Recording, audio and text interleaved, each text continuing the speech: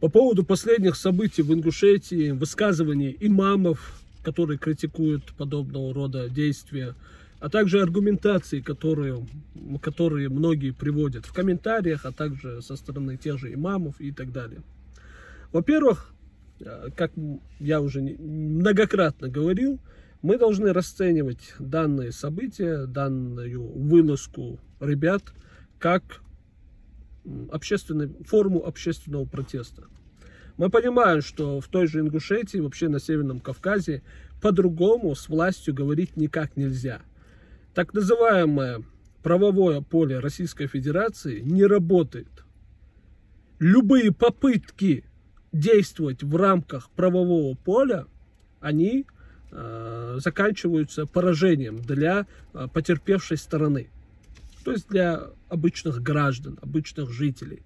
Соответственно, э, учитывая, что первое, это не работает, и во-вторых, что наши земли находятся под оккупацией, под оккупацией, а Российская Федерация является нашим историческим врагом, другой язык, кроме как вооруженное сопротивление, к сожалению, не работает. Это не значит, что э, данная, данная, так сказать, форма выражения себя, она э, успешна. Нет, я этого не говорю. Она, к сожалению, на данный момент, на сегодняшний день э, нецелесообразна. Э, выходить стрелять, отстреливаться от ментов, от обычных полицейских и так далее. Ну, особого, особой выгоды в этом нет. Имеют ли люди право сопротивляться оккупации? Да. Имеют ли люди право сопротивляться коллаборантам? Да, несомненно. А, но нужно это делать грамотно, нужно делать это взвешивая все да, нет, все за и против. То есть Э, сегодняшнюю ситуацию. Поэтому я еще говорю, многократно, многократно говорил, молодежь, э, мужчины, женщины, кто так, таким образом пытается выходить и заявлять о своей позиции, лучше этого не делать. Потому что сегодня у нас, к сожалению, нет сил и возможностей. Но если же кто-то сделает это, то мы не можем этого порицать. Хотя мы говорим, чтобы этот человек этого не делал. Теперь возвращаясь к ситуации самой в Ингушетии, после боестолкновения в Зязиков юрт, оккупанты через местных коллаборантов заявили, что они убили Бокова, Амира и трои, а, точнее Бокова они взяли в, э, в заложники, а троих его товарищи убили. Сами же оккупанты потеряли троих то есть были уничтожены три а, оккупанта-коллаборанта. Один коллаборант, это Башир э, Хаутиев, и двое э, оккупантов русской национальности, если не ошибаюсь. И где-то 7-8 человек раненые. Среди них есть и тяжело раненые. Это, по крайней мере, по официальным данным. По неофициальным данным, понятное дело, что может быть намного больше. Намного больше. В 2-3 раза как минимум. Э, что касается ребят, то они затем сразу же начали опровергать свою собственную же позицию и начали говорить, что эти четыре парня ушли, что они не взяли на месте Бокова живым, а, как известно, они сперва говорили, что взяли его живым. И по местной переписке среди ментов было ясно сказано, что у него закончился боекомплект, и после этого то ли его контузило, то ли он э, был ранен. И после этого они взяли, то есть он не добровольно сдавался в плен. А троих убили. Но после этого они отказываются от этой версии и говорят, что те ребята ушли. То есть они ушли с боем. Мы, конечно, хотим в это верить, я лично хочу в это верить, и это очень хорошо, если они ушли. Но я не верю в это, потому что сразу же После этого они заявляют, что Боков, Амир, якобы пришел и сам сдался с повинной. Я думаю, это вранье, это ложь. И вы спросите, а зачем им врать, зачем им говорить, что они ушли? Почему бы не сказать, что вот они там погибли, что Бокова там они взяли в заложники? А дело в том, что они, по всей видимости, это моя опять-таки версия, а, она не подтверждена, но она кажется мне убедительной. Им, возможно, захотелось представить всю эту ситуацию следующим образом, а именно, что ребята начали сами сдаваться в плен, почувствовав свою слабость, э, поняв в кавычках, что они не могут сопротивляться этой машине, якобы они сами начали приходить и сдаваться в плен. Это первое. И второе, что куда бы они ни ушли, их все равно найдут. Вот эти два посыла, как по мне, попыталась э, транслировать данной, э, данным вбросом Российская Федерация в лице местных коллаборантов и их э, хозяев-оккупантов. Так что э, ситуация с Машхоевым, которого тоже где-то якобы там на границе поймали, что он за продуктами пошел, почему-то он в Северную Осетию там или куда-то там на пост пошел за, за продуктами, непонятно, э, зачем туда идти, зачем идти там, где больше всего силовиков. Э, но не исключено, если его реально поймали, что он был также пойман именно тогда, вечером. Э, во время боя в Зязика в юрте. Что касается остальных двоих, э, то либо их убили, либо они реально ушли, и третий, либо они их так, так, где-то ну, также взяли. Вопрос, почему они об этом не говорят? Возможно, они хотят растянуть эту всю ситуацию – где-то что-то взорвать, где-то что-то там убить местных э, каких-то мирных жителей и списать это на этих ребят, а затем сказать, что они где-то их якобы настигли и убили, хотя заблаговременно они либо были уже убиты, либо находились у них в плену. Мы должны э, рассматривать все ситуации, все возможные. Мы не должны верить властям только потому, что они так говорят. Власть всегда врала и врет. Российская власть это лживая, паршивая, недостойная уважения и доверия структура, террористическое государство. Поэтому, что бы они ни выдавали, нужно сразу же говорить стопе, стоп, мы вам не верим, и начинать разбираться, искать источники, э, анализировать ситуацию, э, искать альтернативные мнения. Но власть, она лживая. Это очень важно. Теперь, что касается позиции многих там а, людей в комментариях и так далее. Хотя мы видим, что большинство как раз-таки им сочувствует, но есть многое количество, которое все-таки высказывает недовольство. И эти люди делятся на две категории. Одна часть говорит, лучше бы этого не было бы, вот жаль парней. А вторая говорит, мочить всех подряд, этих парней нужно мочить, там власть такая крутая и тому подобное. Поэтому а, мы должны понять, что они, как они аргументируют. Очень частый аргумент следующий, что вот сегодня э, месяц Рамадан, и в месяц Рамадан эти ребята вышли там убивать мусульман, якобы там и так далее. Это ложь, это неправда. Потому что, во-первых, они не вышли убивать мусульман, они нигде не сказали, что будут убивать мирных жителей. Они нигде не сказали, что будут убивать обычных там суфистов или салафитов обычных, только потому что у них другие взгляды там религиозные и так далее. Они нигде не сказали, что собираются убивать там русских или не русских, то есть по национальному признаку, там мирных, там, не знаю, учителей, там, врачей, э, слесарей, там, электриков. Они нигде этого не говорили. Поэтому приписывать им это, это также является частью ложи, лжи. Это ложь. Это обман. А, это первое. Второе. Если сегодня реально месяц Рамадан, как они говорят, то почему тогда другая власть, вот а, то есть другая сторона, коллаборанты местные, которые себя называют мусульманами, постятся в месяц Рамадан, совершают молитву, по крайней мере некоторые из них. Почему эти люди могут сегодня пойти и воевать за Россию в, тот же, в той же Украине? Почему там не работает вот этот момент в месяц Рамадан идти и убивать людей? Ведь там тоже живут мусульмане. Два миллиона мусульманов, мусульман по официальной статистике в Украине. Почему тогда эти коллаборанты э, могут идти туда и убивать мирных жителей? Не только мусульман, но и не мусульман. Разве можно не мусульманина убить мирного человека? Нет, нельзя. Почему тогда и в их случае не работает этот аргумент с Рамаданом? Вот объясните мне, я этого никак не могу понять.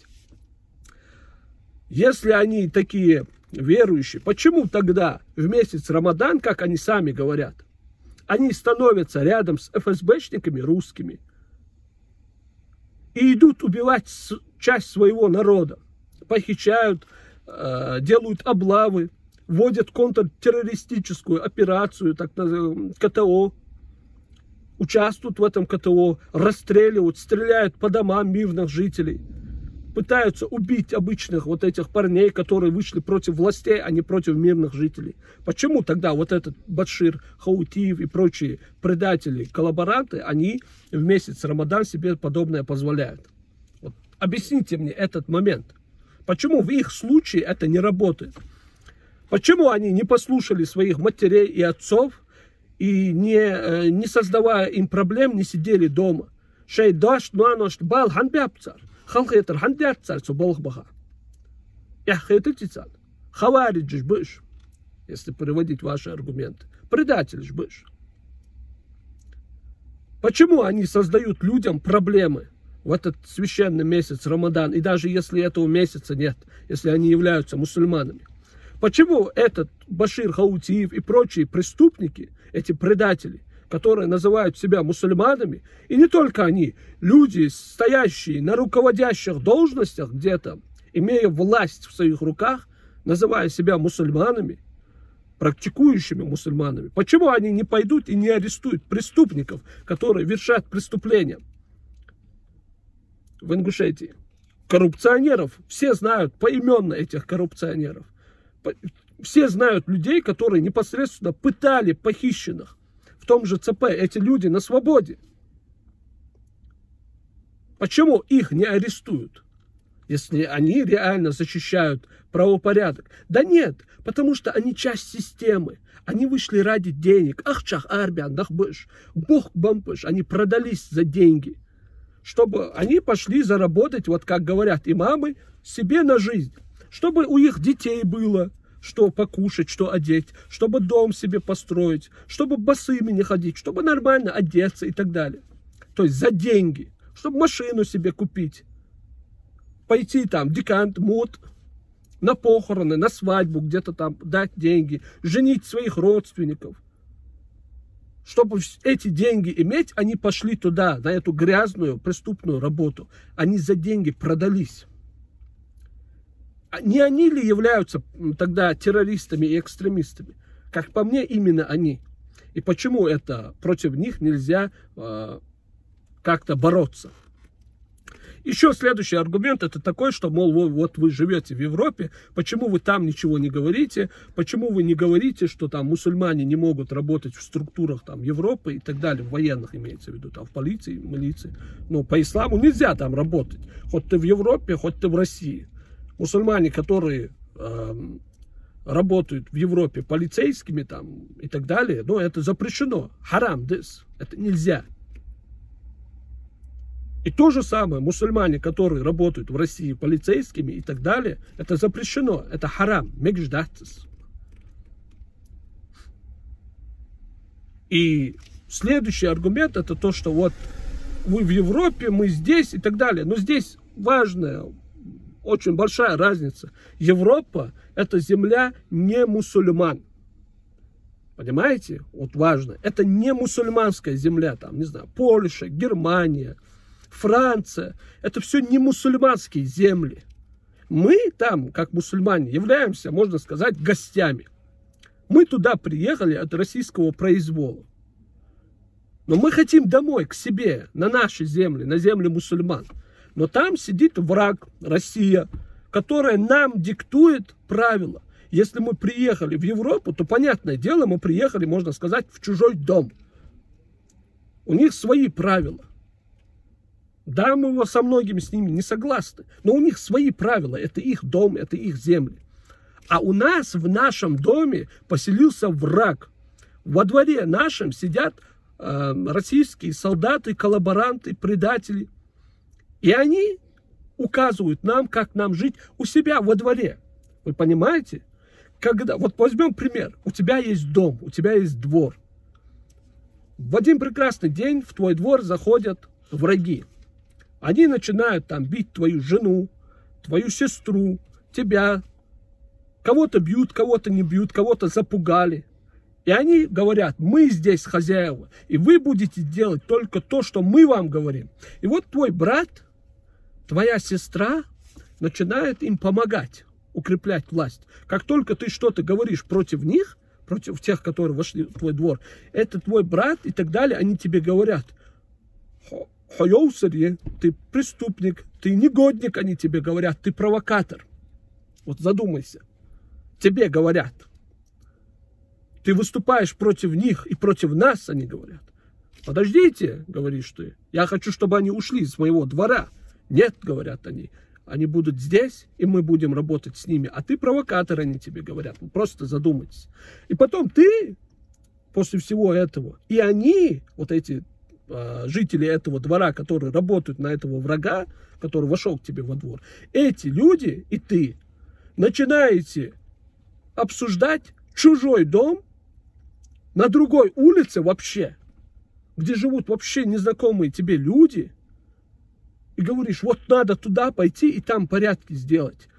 Потому что часть, вот другой, третий твой брат уехал и не смог жить в этом дворе, потому что его притесняли, хотели его избить, мучить, пытать. И он, чтобы этого не было, уехал на другую улицу, в чужой дом, где живут другие люди – вам неизвестные, люди другой культуры, религии, других взглядов. И он там живет как гость. Они его приняли. Они говорят, если хочешь жить в этом доме, э, не нарушай это, это, это, это. У нас такие-то и такие-то правила. Не нравится, уходи.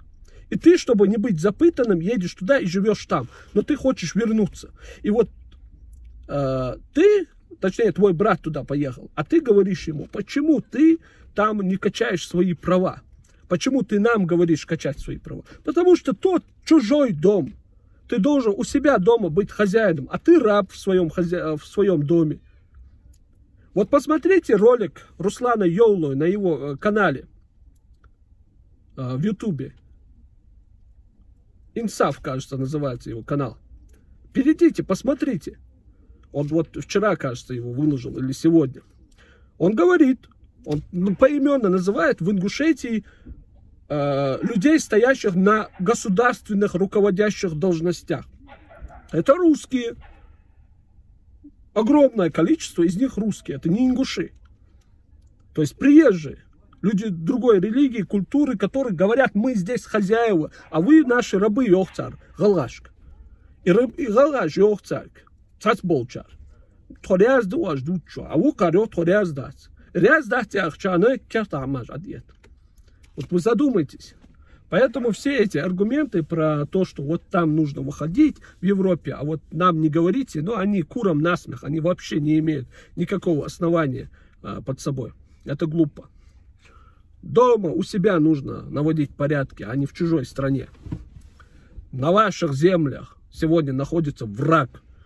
Ваши дома, земли оккупировала Российская Федерация. Что вы с этим делаете? Ничего.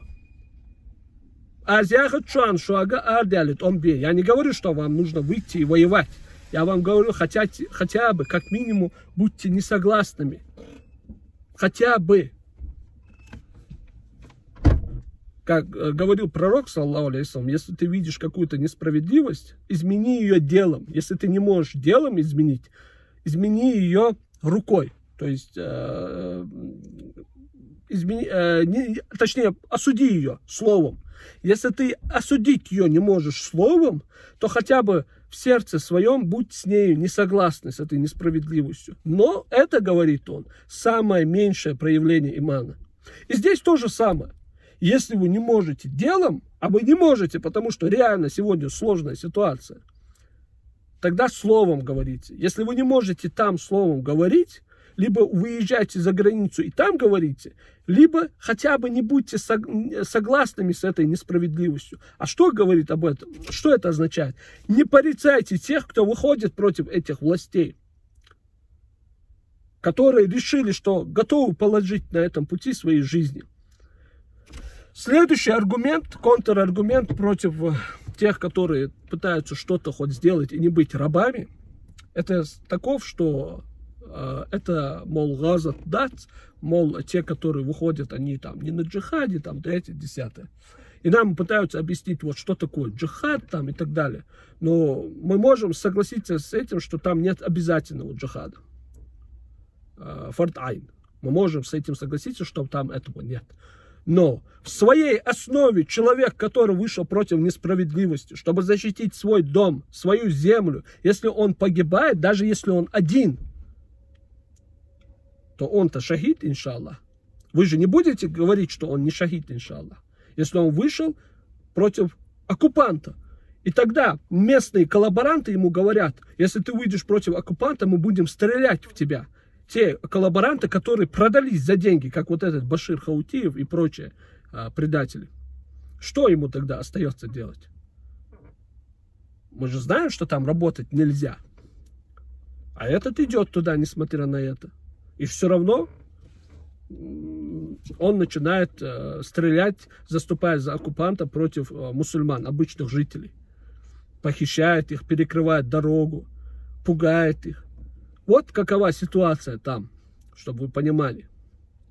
А, следующий аргумент это то, что якобы можно все-таки работать в структурах, будучи там мусульманином и так далее. И это говорят некоторые имамы, которые дают фетву, что можно работать там на российские структуры. А, они обманывают людей, они реально вводят в заблуждение людей, э, потому что они не объясняют, в какой ситуации можно, когда человек является, так сказать, агентом, в данном случае в России, и вот его туда посылают, чтобы он выведал, что там происходит,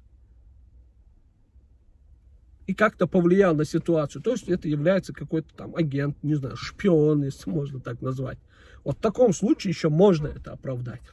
Но раздавать фетвы направо и налево, говорить, что вот в данной ситуации вот каждый может туда пойти, лишь бы не убивать там мусульман и так далее, ну, это вранье. Потому что э, ситуация совершенно другая они приводят в пример, что вот даже в той же немусульманских странах можно, они говорят, вот эти имамы, пойти там работать там в структурах, в полиции и так далее. Потому что там это не мусульманские страны в своей основе. Соответственно, э, если мусульманин, они говорят, будет работать в таких структурах, это будет э, укреплять э, влияние мусульман в регионе. Они так это приводят довод. Во-первых, нельзя работать даже мотивируя этим. Но даже если допустить, что это можно, даже если допустить, то ситуация в России, она кардинально другая. Ты не можешь быть полезным для мусульман, работая в полиции, в ФСБ и так далее, в России. Не можешь ты быть полезным. Потому что ты обязан участвовать в убийствах, в пытках, в преследованиях. Ты обязан покрывать коррупционеров. Это твоя работа прямо твой начальник, твой э, рядом сидящий сотрудник у этого Башира, Хаутиева и так далее, похищает людей, стреляет кого-то, покрывает наркоманов, с которых он берет дань. И Башир Хаутиев не может взять его и арестовать. Он не может пойти против системы, система ему не позволяет. И как этому Баширу Хаутиеву дозволяют а, работать в такой структуре? Вот вы сами объясните. Потому что ситуация другая. Они не могут ни на что повлиять. Это вранье. Опыш быш, что они могут повлиять. Поэтому Башир Хаутиев и подобные ему, которые идут туда работать, прекрасно понимают, что не будут влиять на, на э, улучшение положения местных мусульман. Они идут туда ради денег, Ахча, Бог Бампыш. Это предатели. Поэтому эти аргументы, они не выдерживают критики. И мало того, когда вот эти фетвы даются, они говорят, что ученые дозволили, они говорят, но это ложь. Почему тогда эти имамы не говорят людям, что большинство ученых сказало, что это нельзя? Именно большинство сказало, что это нельзя. Почему они этот момент не проговаривают? Потому что они ищут, ищут зону комфорта. Они ищут что, возможность оправдать свое бездействие. Оправдать свое положение. И поэтому они раздают эти лживые, необоснованные фетвы направо и налево. Нах эх буцат. Если вы порицаете тех, кто выходит против российских властей, аргументируя это тем, что э, они тем самым э, способствуют э, смерти, смертности там, мусульман, мирных там или обычных, почему вы не порицаете тех, кто призывает ингушей, да, мусульман, ехать в Украину воевать? Если вы скажете, что вы не можете этого говорить, а вы не можете, потому что у вас будут проблемы, то хотя бы не порицайте тех, кто выходит против российских властей. Если ты не можешь сказать хорошее слово, то не говори плохого. Если ты не можешь заступиться за тех, кто противоборствует Российской Федерации, то не говори плохого слова хотя бы. Сдаваяга, кагамдат. Я не знаю, здесь э, слышно или нет, дождь пошел, сирена воет, воздушная там э, атака, какие-то там ракеты, что-то прилеты будут. Поэтому я повышаю голос. я думаю, я не знаю, вам слышно или нет. Поэтому немножко, может быть, вам показаться, что я кричу. Хотя так оно и есть, я кричу. Как-то так. А что касается этих ребят, еще раз говорю, то ситуация далеко не однозначна. Не верьте всему, что говорит Россия. Не факт, что они все погибли. Не факт, что они все живы. Не факт, что кто-то там ушел и так далее. Мы не знаем ситуации. Пока мы не будем 100% в этом уверены, мы должны понимать, что власть будет говорить только то, что ей выгодно, и она будет лгать. Так же, как она лгала, когда говорила, что Эльдиева убили его товарищи выстрелом в живот. Но это ложь, это полная чушь. Так же, как она говорила и врала, что Моусара Катоева взорвали его же товарищи, подложив ему гранату в живот, в, точнее в паховую зону. Кто так убивает, кто так добивает. Ну вот сами подумайте. Потом они начали версии говорить, что взорвался его вот этот жилет. Но паховая зона полностью повреждена. Не здесь, не живот, паховая зона. Они его поймали по всей видимости, бросили ему в штаны а, лимонку, гранату, возможно, хатапку обычную. И подорвали его а потом поставили демонстративно автомат, сделали фотки и так далее. Нельзя им верить. Нах буа буца, нах кест буца. Мы те, что наха. Мадия, кама бусам наха, зулам мадия, мах, цубалх, магуа, хадол цубалгар. Цубалх кереснах. Также есть вот последний аргумент, который говорят, а что делать? Если ингуши, мусульмане не будут работать в структурах, там, в политике, в судебной системе, в прокуратуре и так далее, гаишниками и так далее, то вместо них будут русские, они говорят. Во-первых, уже русские, все русские сидят на руководящих должностях, а вы рабы, Йохца. Они говорят, вы все наши рабы, а мы будем вами руководить. И они уже там сидят. Во-вторых, любая оккупация держится на предательстве местного населения. Если не будет предателей, они физически не смогут выделить столько кадров на руководящие должности, на полицию, на милицию, на прокуратуру, судей и так далее. Физически не смогут. Месяц, два, три, полгода продержатся, год продержатся, но 10-15 лет они не смогут держать это. Именно за счет предателей, именно за счет трусов и малодушных из числа местного населения оккупация проходит успешно в любой местности, будь то в Чечне, в Ингушетии, э, в Дагестане, на Северном Кавказе, на, в любой точке этого мира, только за счет местных предателей. Общественный протест, вот что нужно. Почему им так важно, чтобы выходили на выборы? Ведь они и так их фальсифицируют. Вы же знаете, что они все выборы фальсифицируют, выбирают только того, кого они хотят. Но почему им важно, чтобы выходили на эти выборы? Вы задумывались когда-нибудь? потому что им важна статистика, им важно принятие обществом вообще самого факта выборов, что это можно, что это не запрещено. А местные имамы, некоторые, по крайней мере, я не говорю все, дают фетвы, что это можно, тем самым укрепляя российское присутствие в нашем э, регионе, на Северном Кавказе, в данном случае в Ингушетии. Или Цухамах, или Allah dal bu somnya burtsa bob. Allah dal ersi patchalk iş yol. Allah dal yok doğup Аллах дал, мук бахтал, чебех кабахкаш бол, нах, мерш, чебех кабахкаш бол, бех бачиш, мерш бахалпаш. Аллах дал. И еще, может, скажу по поводу э, Украины, мол, что вы там в Украине делаете, почему там, э, там воюете. Мы воюем против России, понимаете? Мы сегодня в качестве союзников сегодня находимся на территории Украины и воюем против России. Если Россия пойдет, если у нас будет возможность, мы будем ее гнать, э, пока мы не освободим свои территории.